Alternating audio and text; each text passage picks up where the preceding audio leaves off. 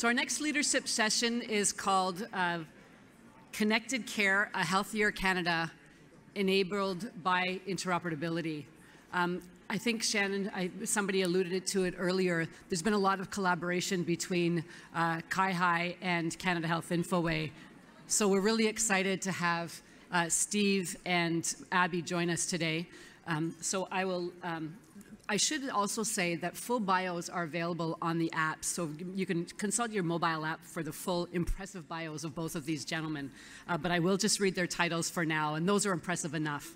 Um, Abhi Kalra is Vice President, Portfolio Management, Virtual Care Programs with Canada Health Infoway and Steve O'Reilly is Executive Director, Federal Relations with the Canadian Institute for Health Information.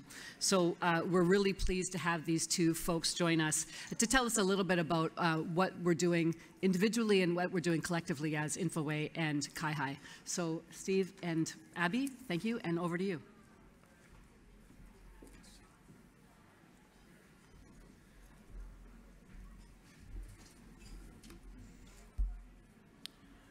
Bonjour, tout le monde. Je suis. Good morning, everybody. I'm very happy to be here. And an opportunity to share with you an update on the collaborative work Infoway has been engaged, most of you all, to advance the uh, improvement of our connected care system. We heard a lot about that in the last session. Um, as Sheila said, my name is Abhi Kalra. I lead the interoperability portfolio at Infoway, and I'm responsible for driving our strategy uh, to advance digital health interoperability in support of our jurisdictional and federal stakeholders. Giving me company today is Steve, who's going to cover an important section of this presentation, and he's going to actually provide you an update on two key national programs, interoperable programs that the two organizations have been involved in. Um, can I say it is very refreshing to see from the patients that they actually understand interoperability. For the last few years, I have actually struggled to explain what interoperability, so, so thank you, Flavie, for bringing the uh, interoperability definition in one-on-one -on -one for everyone. So I really appreciate that. Um, I, so, so, so job half done. I don't need to explain interoperability anymore. Um, this conference and this presentation is about reflections. It is about appreciation. But most importantly, it is about joint leadership and joint action joint leadership and action that we must demonstrate and take to continue to advance the connected health system. Uh, in the last session, we heard some great um, comments from the three uh, provincial leaders who talked about um, access to care, who talked about the importance of the connected health system, who talked about equity of care. Those are all resounding common themes. So everybody is acknowledging that. So it was, it was really interesting to see that. So let's look back a couple of decades when our health system was pen and paper based, fax based, um, and we still make mockery of that. Um, we, we did have some standards, and people often accuse us that you know, we're lagging the two industries, banking and airlines. Banking and airlines were starting to actually digitize by that time, but we're lagging behind. I think over the next 20 years, um, we have had a number of standards, we've had number of digital standards, number of digital solutions that have actually helped us to become digitized. Fax and paper still remains in the system, but that is not because we do not have a solution. That's because of our own choice. That's because of change, resistance to change. Um, so overall, I would say within the health space, we've made good progress, and that's why I say, you know, we need to appreciate that. We have actually digitized uh, the health systems. But with digitization, the problem comes for the data interoperability. The data is sitting in our systems. The problem is it's sitting in siloed and fragmented systems. So now our journey is really about how do we unlock that data, unlock the assets that we have built, and actually take it forward. Um, I'll bring back the same thing that we talked about, you know, banking and airlines industry. The reason um, they are ahead of us is because, and I, it's very easy to say, they are a lot simpler than health system. Take, uh, take an example of banking system. Two binary uh, two binary transactions, credit and debit, right? And, and there is a business model and a business motivation globally to make it interoperable. So that's why it has happened. Healthcare, health system is local, provincial, and at best national. It hasn't even gone global right now, which is why I think there is lack of uh, motivation. Plus, health system is complex. Take an example, uh, SNOMED CT, we have 640,000 code values. And those code values are actually every day evolving as we learn more about human biology. And within those 640,000 codes, we have over 2 million uh, polyhierarchical relationships between them. So you can see how complex it is. It's, it's, it's easy to accuse, it's easy to criticize, but it is complex. Um, so where are the gaps? Let's, let's understand from a couple of uh, patient stories. And, and Flavie, you, you really uh, made my job easy. So these are a couple of patient stories that we have collected and learned from our uh, patient advisory forums uh, through our clinicians. And I'm trying to bring those to real stories that um, were connected the most with me. And the first one is quite similar to uh, uh, Flavie. the case of the unattached patients. Um, patients aged 12 and older 15% of them do not have a, a, home physician, a family physician. So let's talk about this patient. You know, John, who's in his late 40s, he lives in suburban Canada. His physician retired recently. He's been on a wait list for three months to join a new primary care clinic. He has uh, a family history of heart disease. He has type 2 diabetes. He's been keeping fairly okay, but recently starting to feel unwell. And he's getting um, anxious right now to get in front of the doctors. Because he doesn't have a family physician, he has attended at least four uh, multiple walk-in clinics over the last three months. He has paid two visits to emergency department uh, where physicians have ordered lab and diagnostic imaging tests repeatedly. Uh, the doctors also commented that they cannot access their past results and again sent them for repeat testing and specialists. One of the physicians actually referred him to the specialist. And the specialist said the, uh, his blood sugar is high and he needs to be put onto diet, exercise, and medication. He doesn't have full access to his medication history. He doesn't have full access to his um, uh, health information. Some information is available through patient portal. But, but you could see he's still waiting to get uh, to the next, uh, yeah, to, uh, to, to see the next physician. Uh, but the challenge right now is his patient summary, his record is created in multiple systems with multiple sources. So imagine, there is no single source of truth right now available. So it's not lack of solutions, it's not lack of data. It's really about connecting the data together and having that ability to actually bring that longitudinal record, you know, as some of the patients also mentioned. Um, from a health system perspective, um, look at it, what connected system would have done. As a patient, you've increased the empowerment. The patient would be able to access the result uh, would be able to share the results even though uh, the patient is an unattached patient. The patient can get the consolidated summary and actually share with the next physician. Uh, the patient would not have to repeat the, uh, the test. From a clinician standpoint, before the visit, the clinician can actually prepare for the visit and have the full information about the patient available to him. Um, uh, from a test, uh, from a uh, health human resource uh, crisis we talked about, you know, on an average, our physicians are spending 30 to 40 minutes looking for the administrative information for data outside their uh, home practice. Now, why is that? And, and, and they often get their information through fax. They often get their information, you know, through paper, uh, even though the system, the information, data, the data is contained in the system. So we are selectively deciding to choose fax even when the solutions are available, even when the data is available. Uh, talk about health system, additional burden on the health system. Health human resource, the 30 to 40 minutes that on an average single physician spends per day, uh, compound that over a year with 80,000 physicians and specialists, you talk about creating capacity in the system. Um, so it's not about hiring the new resources, but uh, clearing up the capacity in the system to, to see more patients. Um, and of course, reduce burden. But most importantly, uh, less anxiety for, for the patient. Uh, let's see another, um, another uh, user story, and this is something you know, that um, I was discussing with uh, our, um, uh, our Dr. Rashad, who works uh, with Infoway. And he, he brought this up, and I thought, you know, I, I must bring this up. So Matt, in this case, he's a 90-year-old senior who suffers from dementia and a couple of chronic diseases. His caretakers are his son and daughter-in-law, with whom he actually live in. Um, the he has a family physician, a care coordinator, and he's receiving uh, nursing services at home from Health Region. Now, working with the care coordinator, his family decides to transition him to a long-term care, uh, which has an opening. The care coordinator faxes a health assessment form to his family physician that needs to be completed before the move to long-term care could be completed.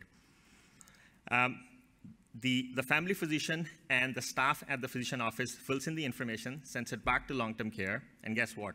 Seven different elements of information is missing from that form. Um, information about the recent hospital stay, information about the, uh, the latest outpatient specialist report, and the latest uh, complete list of medication from the pharmacy. All of this information needs to be filled into the form before the admission into long-term care could happen. The physician staff had to fax, call in, three different places, had to wait 10 days before to get the information and get the information back into um, uh, long-term care center. Um, during this, you can imagine the burnout and the burden the caregivers are going through while they're actually dealing with their life. Look at the anxiety that it has created for the senior person. Um, the health could have deteriorated during these two weeks. So with, with a better connected, improved system, uh, most of this could have been easily avoided because the information can actually flow in a near real-time manner, um, and you could actually have the consolidated view. So again, reiterating the point, it's not that you know we do not have the assets and the solutions available. We we haven't actually connected them well, and we haven't made them interoperable. And I'm glad we're talking about it. Um, all right. So I will not define interoperability because that has been probably more eloquently uh, defined by some of the patients, so I would not even attempt to better that. Uh, but I would talk about on the left, if you see, and I promise this is the only slide where I would go a little bit technical uh, for, for the interested audience. So on the left side, if you see, uh, interoperability, first of all, I want to reiterate, it is not about technology alone. If you look at the four layers, let's start from the bottom. Technical layer, it is really about interconnectivity of the requirements to make the system talk to each other and transmit raw data. Next layer is syntactic um, layer. It provides the format, the syntax, and the organization of data field so that the information can flow. Uh, this is where uh, standards like HL7, XML, uh, and FHIR come into play. Uh, third layer is uh, semantic. So this is where the complex codification that I talked about, SNOMED, CT, LOINC, ICD-10, they all come into play. We're talking million codes at least. How do they actually map to each other? As an example, um, a myocardial infarction, heart failure, heart attack, they all mean the same thing, but every physician may actually write it differently. They all need to be coded to a same value. They cannot be mapped to different values. So that's the importance of the code terminology. So you can imagine, you know, as the, as the codes evolve, they need to be constantly updated and maintained. And the final layer is the organization layer. This is where technology stops and we talk about all the work that done in the bottom three layers cannot proceed because either you do not have policy, either you do not have um, legal framework, either you do not have a data sharing framework, or you don't have a trusted exchange model.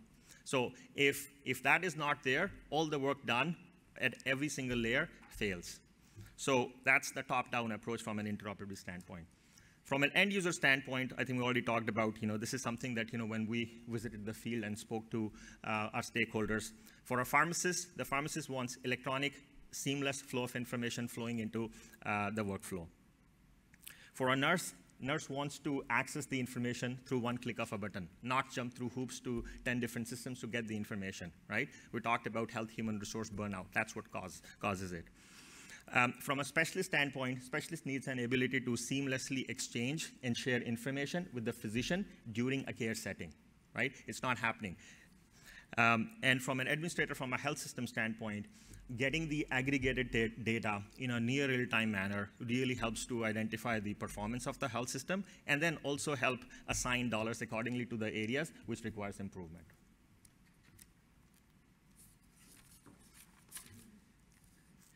So what are we doing about it? I think we all talked about the problems, you know, since morning. But let's talk about, you know, the work that is underway right now um, to, to advance this work. So we have been collaborating with various stakeholders in the ecosystem to advance digital health um, interoperability.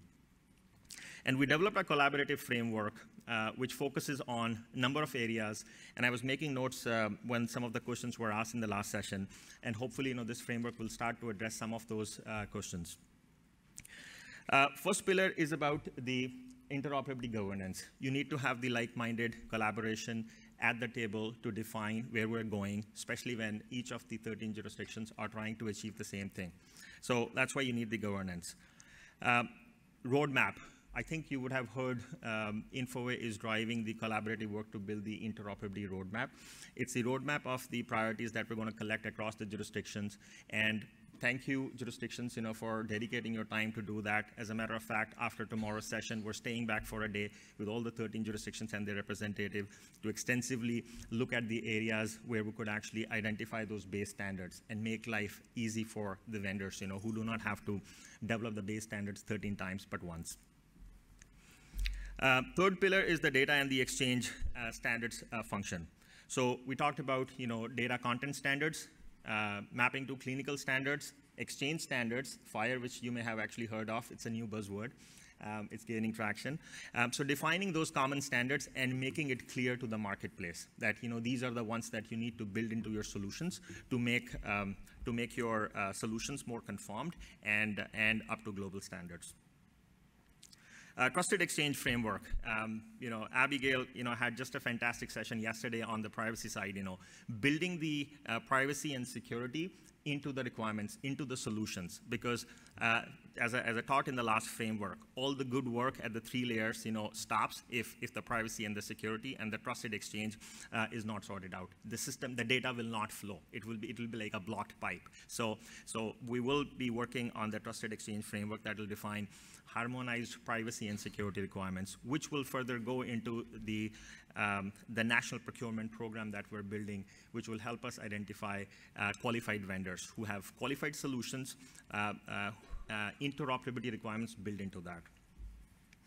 Um, the next two pillars are really focused on the vendor activation part. Vendors are an important part of the equation. We've all acknowledged that.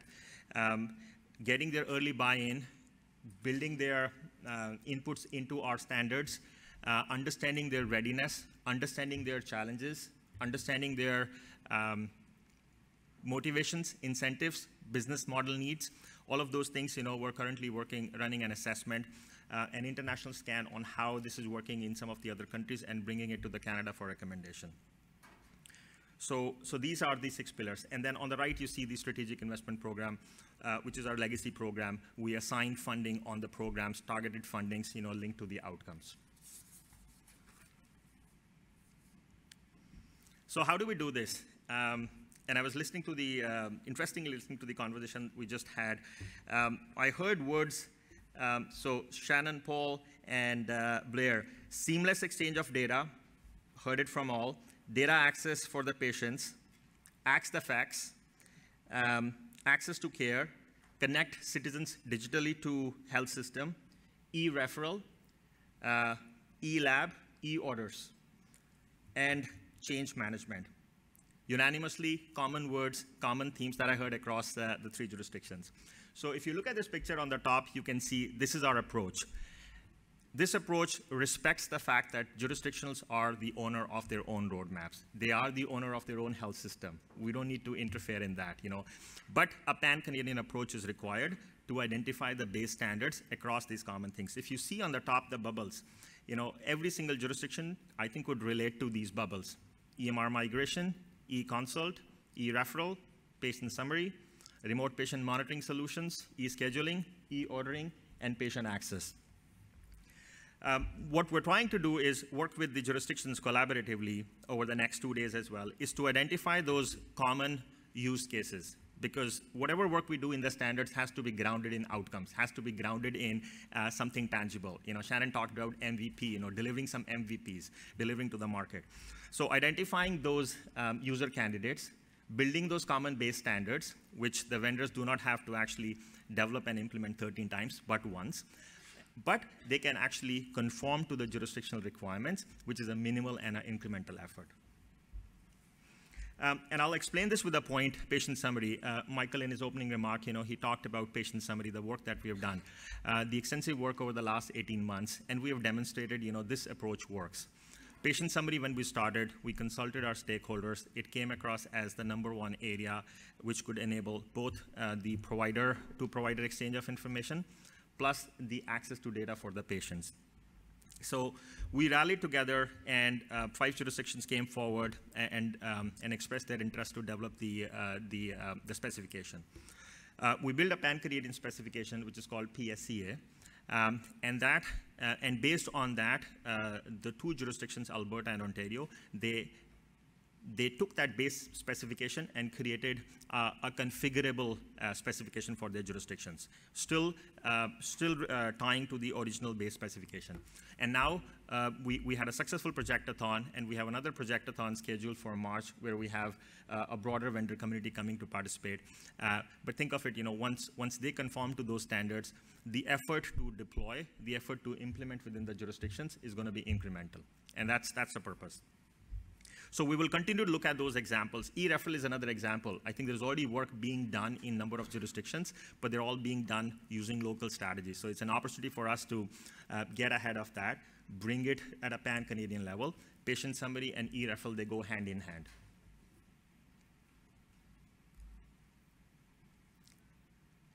I think this slide is uh, primarily focused on um, making sure how do we actually make and enable vendors to deliver it faster. So the important part of the equation, as I mentioned, you know, is, um, is the vendor uh, community. By taking a pan-Canadian approach, uh, what we do is we're able to mobilize and activate our vendors uh, quickly. We have um, regional, local, and international vendors. So um, they, we need to get their buy-in, not just focus on one type of vendor. Get their buy-in and commitment to deliver on those priorities. And if there are clear published pan-Canadian interoperability data and technical standards, it would also create a healthy competition amongst the existing as well as the new vendors, because when you have open standards available, when you have open conformance requirements published, uh, the new vendors, the innovative vendors, you promote innovation because they know exactly what is demanded, what is required, you know, from a procurement standpoint. So that's the purpose. So again, I think my key call out there would be that these benefits can only be realized through our continued alignment and collaboration, so we must continue to do that. Um, you'll hear more um, from Steve from ONC, um, um, and, and, I'm really excited to uh, listen to him, although, although this will be third time. Uh, but, but, the fact, but, the, but, but the fact that you know how they have successfully implemented this um, in US, um, and he'll speak to that, and you would be able to relate to you know, how, how would that actually work in Canada.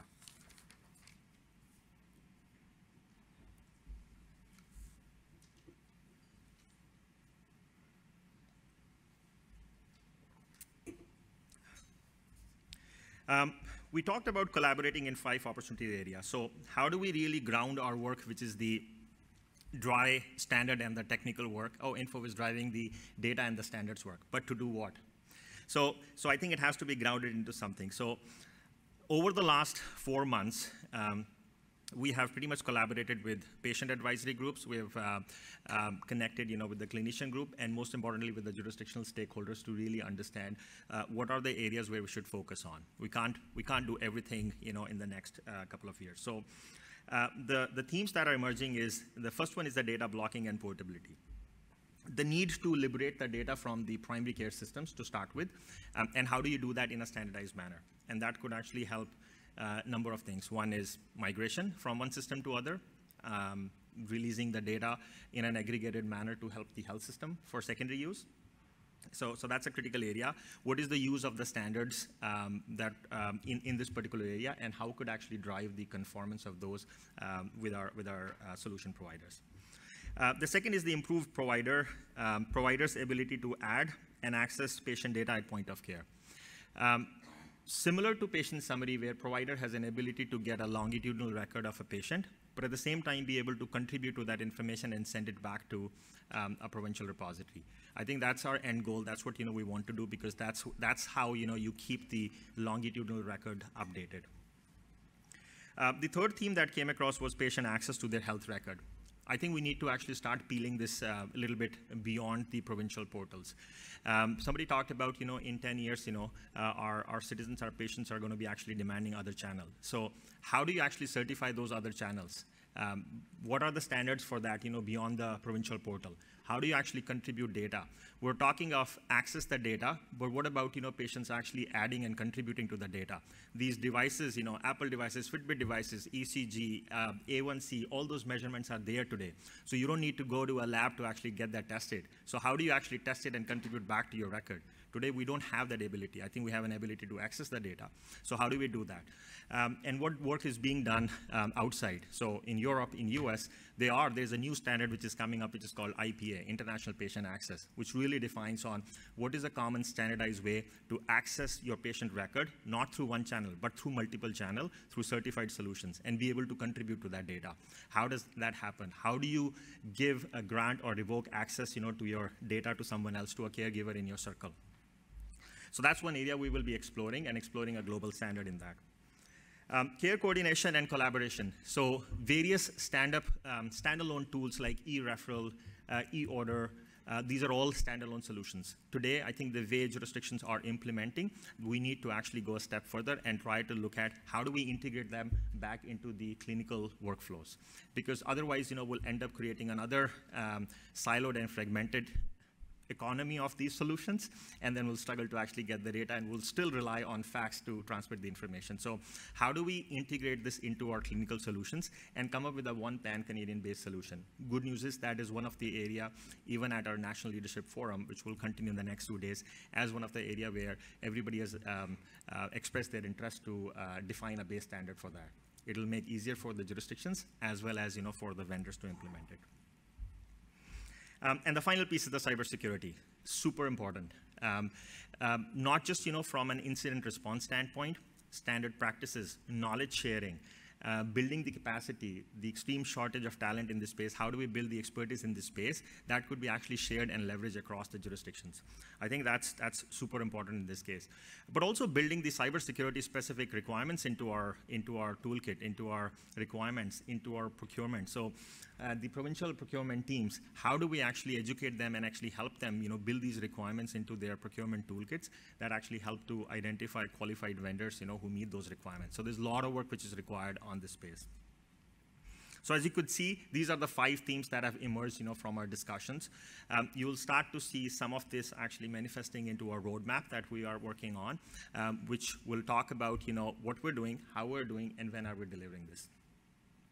Um, I do want to acknowledge the time and effort jurisdictional teams have extended in this collaborative work to identify these common areas. It has been a lot of work, you know, in addition to their priorities, in addition to actually managing the COVID response, in addition to other programs that they're running, they have dedicated their time, which shows, you know, their sense of collaboration and the need uh, to actually do this together. So I think we're on the right path. Uh, one international perspective, I thought um, it'll be useful uh, to actually uh, share an international perspective. Um, last month, some of my colleagues and I um, had an opportunity to attend Global Digital Health Partnership event. Um, it happened in uh, Rotterdam. Um, and the theme of um, the theme of the conference was really about advancing the global digital health, and interoperability was again, uh, surprisingly, number one theme. Um, Infoway, um, Canada is represented by Infoway at that forum, and we are either chairs and co-chairs in each of the uh, five working groups that we have at the table. Um, several countries, um, they presented their overview on the local health system and the challenges that they face in advancing um, the connected care system. Uh, interestingly, but not surprisingly, all countries share the same goal, same challenges, same approach. But I tell you what, they all say we're different. Um, so, so let's just talk about, I'll, I'll bring one example. Um, so the European health data space, this strategy was written in 2020 or launched in 2020, which was for the general data space. And then they actually created a focused strategy for health data space. And they defined the scope. So, so they identified the challenges and they defined the scope. Now, these are all member countries in the, in the European Commission. So this presentation was done by the European Data Commission uh, lead. Um, if you note the challenges, um, individuals and healthcare professionals have difficulty accessing the data, limited research and innovation happening because of the lack of data available. Um, policymakers and regulators are not able to easily access the data. And digital health services and product services providers, they face barriers. Um, they all sound uh, familiar to us. And they came up with a, a scope statement, which they are actually putting um, as part of the legislation, which is strengthening the right of the individuals um, in relation to greater control over their electronic health data. And if you focus on the underlying words, access, share, rectify, restrict, know, and common European format. I think, I think, I think it speaks all, right? So, so we talk about patient empowerment. We talk about, you know, what we need to do. I think every single country is trying to do that. Um, in this case, they are taking um, a top-down approach. The work that we have been doing is really a bottoms-up work. You know, the standards work, the technology work, the architecture, the conformance, the vendor mobilization. But there's a top-down approach also needed at some point. And that's what I think European Commission is trying to do, which is taking the use of uh, legislation to, to legislate the right of uh, citizens to access their data and manage and control their data. Now, automatically things will start to fall into place, you know, once the legislation into, um, is into the play. Um, I'm going to give you um, an update on a couple of uh, pan-Canadian digital health programs, and then um, I would invite Steve to actually come and speak to the, uh, the remaining programs. So patient summary, you already heard uh, a lot from uh, uh, Michael this morning. Um, I will touch quickly onto this one. What exactly is a patient summary? So any of you who has uh, an Aeroplan loyalty uh, account, which I'm sure all of you must have, you know, given that you are travelers. Um, so if you log into your portal, um, what you're able to see in a standardized manner is your history of all your travel, with main airline, with your partner airlines, but also some of the partner companies like Amazon, Starbucks, Uber, you're actually able to see the activity that is happening with this. So the point is that it gives you a snapshot, uh, a point in time snapshot of your travel history, of your point history and everything. It's, it's similar to patient summary, not quite similar, but I, I, think I had to use an example to explain the point. So, so if you look at patient summary, if I was to log into my portal, I should be able to see my full history. When I say full history, it's immunization, medication, allergies, hospital discharge summary, all of the information should be available to me. And that's the concept here. And that's what patient summary does. So patient summary is based on an international standard, IPS, um, which defines uh, these, uh, these components in a standard container. Um, and then it defines the exchange mechanism of that information, which is FHIR, you know, which is a national, which is a global standard to actually do that. So that's what patient summary does, and it benefits both provider as well as patient. Um, I think we've already talked about the outcomes. Let me just quickly touch on a few of those. Um, from a patient experience empowerment standpoint, uh, great outcomes. Unattached patient, I think we have to recognize there's a problem there when, when, when we say 15% of the, uh, the patients are actually unattached patients. So patient summary does help that particular scenario, even though the information is being created and generated in different systems. Um, unplanned emergency care. So when we talk about advancing interoperability, often you know we get into debate of intra-jurisdictional interoperability versus inter-jurisdictional interoperability. But I think that's purely from a provider standpoint. From a patient standpoint, it should not matter you know, it should be uh, cross-border, right? So no matter where I am, I think I should be able to access my results. I understand from a provider standpoint, you know, there are uh, local jurisdictional policies and legislation, um, which is understandable, but from a patient standpoint, there should not be any boundaries. Um, health human resources, I think uh, we already talked about, you know, uh, there is uh, a quantification model that, uh, uh, that we can use to actually prove it that yes, you know, it does help, you know, it, it near real-time exchange and availability of data does help uh, every single physician. Um, and then from a vendors and innovator, innovator standpoint, the availability and the use of open standards, it really actually helps drive the market and actually creates a good, healthy competition so that, you know, they're always um, up to date. Um, good progress on this one. Um, I think uh, Michael spoke about the five jurisdictions that are participating. Two ju uh, jurisdictions, Ontario and Alberta, are already proceeding, you know, with their trial implementation in the next few months. We have a big projectathon for the vendors coming up in March 2023, which is, which is I'm proud to say that, you know, Canada is actually hosting it for the first time, um, led by Infoway. It is a, a, globally known event for 20 years that happens in US and Europe, but we brought it for the first time in Canada last year. Um, tasted success. Now we're actually going full on on this one.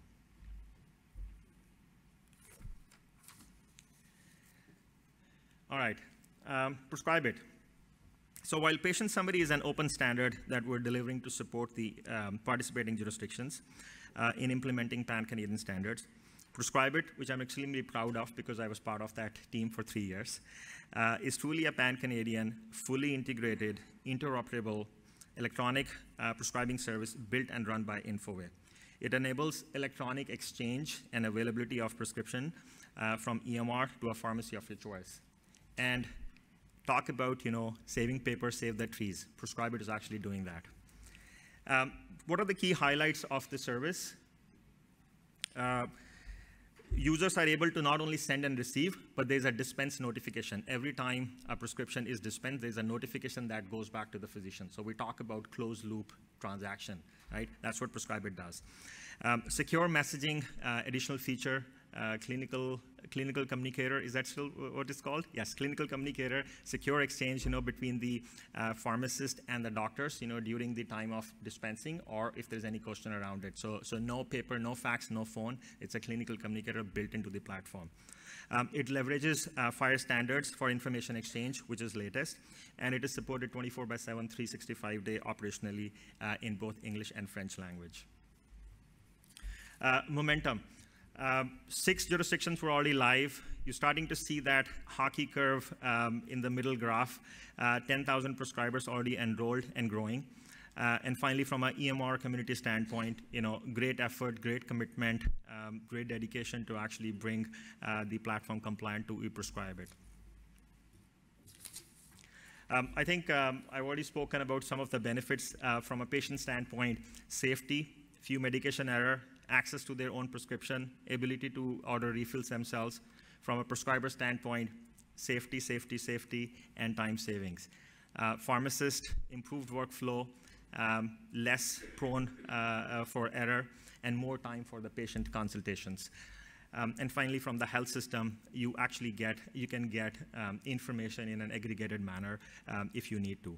And you can actually decide, you know, in terms of uh, taking action against, let's say in case of an opioid emergency. So you have the information available to actually take those actions. So that was my section, and uh, I would like to invite Steve to come in and uh, speak to the next two very important programs.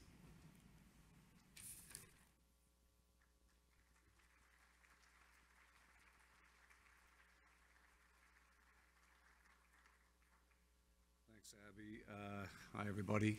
For those of you who don't know me, uh, Steve O'Reilly, originally from Newfoundland, uh, provincial health CIO in a previous life. Uh, Abhi, you just covered an enormous amount of content, uh, and Newfoundlanders are famous for talking incredibly fast. I'm going to bestow honorary Newfoundlander status on you. So, uh, I'm also a bit of a people watcher, and one of the nice things about sitting up on the day is you can sort of watch body language, eyes, and I know we're all absorbing a whole lot of content, so I'm going to be exceedingly brief. Uh, I hear we're having a hot lunch today, and so between now and noon, we will finish on time. That's my solemn vow to you. Uh, I do want to talk a little bit about uh, ODT as well as the primary healthcare content standard. Uh, before I dive in, I just want to highlight uh, I hope you're all, for those who've been around the system for a while, this collaboration between our two organizations is quite striking and quite positive. And we've been nurturing that, I think, for the last few years. And we're really starting to see that pay off. And I think with interoperability, you're really going to see our organizations align even better. I just want to get that in before, uh, before people glaze over. Okay, so ODT, and there is a session tomorrow that will provide a pretty detailed flyby of this, so I'm not going to I'm not going to belabor it too much, but I do want to just note, um, I think it's pretty cool. Um, what we've been told by the players in organ donation and transplantation is this lack of a data repository and some way to measure system performance is the Achilles heel. It's what's holding us back. And there's some numbers there in the corner. Suffice to say, we're not transplanting as well as we should, or as often as we should, and as efficiently as we should. Uh, and I believe the latest numbers, like last year, I think we lost 250 people on the wait list. So we can do better is the key message. So I won't, uh, won't drill on that too, too much, but I do think we all recognize when it comes to organ donation, the need is always greater than the availability, so we want to optimize that. Okay, so we're taking, I always point at the screen, I don't know why. Uh, so we're taking a three-pronged approach to this, which is really involving deploying tech solutions to replace a lot of that outdated systems, papers, fax that we've heard so much about this morning, telephone calls, Secondly, we want to integrate systems, including existing systems. So it's not ripping everything out and starting again. There's lots of COT solutions out there. It's more about alignment and integration. And perhaps most importantly, or certainly from my perspective, um, the project will be funding the initial investment of embedding the content standards in, into the technology solutions, both new and existing. And that's been our challenge. uh, not just in Canada, but certainly marrying data and content standards to the technology and the messaging standards has been our biggest challenge. And I'm quite excited to see this come through. And I think ODT represents a real demonstrable example of interoperability for the country. So in the interest of time, I'm going to skip over the accomplishments. Suffice to say, there's both a deceased donor and living donor solutions that are moving along nicely. I believe the first phase of an integration hub, which is pretty cool, is allow provinces to share offers of donations across both borders. Again, not getting everybody right away, but this is the beginning of something that will scale up quite nicely. Um,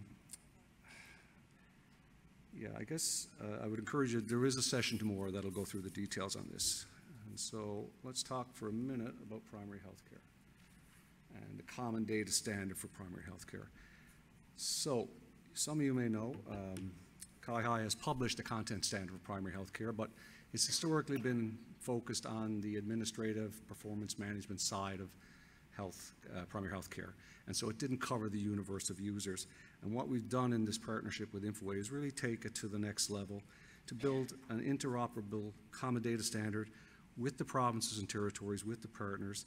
Uh, we want to leverage what's being done across the jurisdictions, and we want to do that for all the potential users, not just from an administrative lens, which would be uh, CIHI's historical uh, approach. So we really want to take a whole system approach. And so you can see the different user groups here, excuse me.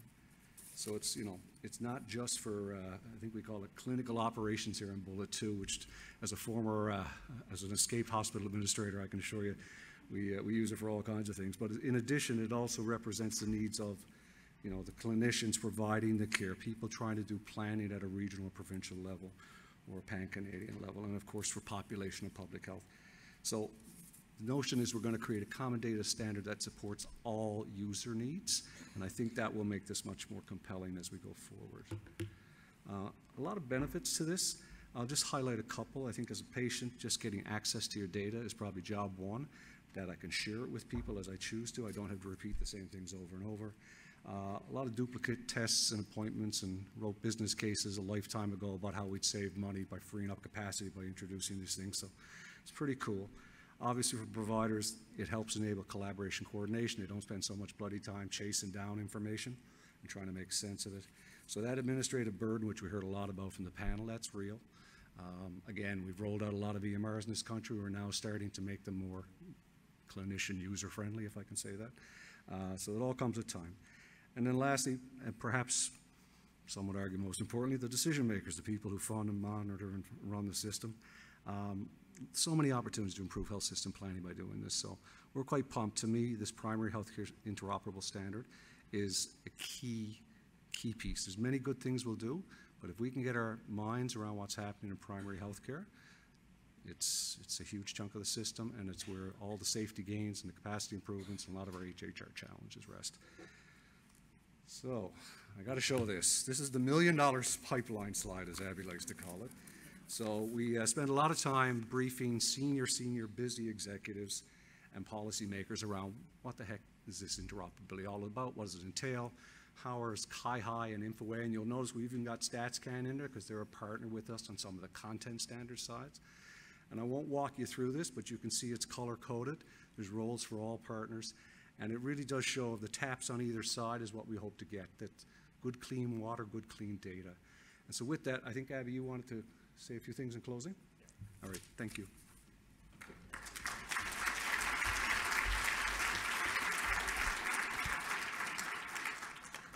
Thank you, Steve. Um, yes, indeed, a million dollar slide. It really, uh, it really required some thinking to actually put this together. Um, to close things off, um, I would like to continue. I would like to thank you for attending the session and uh, leave you all with a key message, which is the importance of the continued collaboration. I think we have demonstrated that over the last few months. Let's continue to do that uh, because we're all chasing the same goals. Um, and finally, I wanted to remind you of all the great concurrent sessions you know, that we have tomorrow. Um, there is some rich content, you know, that you will witness in those uh, sessions. You know, uh, I probably touched some of them at the high level, but you, if you really want to learn more about each of the area, you, I, I would humbly request you to go there. Um, there's one on organ donation and transplant. So we have um, Dr. Joe Kim come in, uh, who's the sponsor, and speak to that. There's one on patient summaries, and then there's one on um, one title, Canadian Helping Canadian. Now, these are not all the sessions, but uh, so team, here's my pitch to recruit people for your sessions.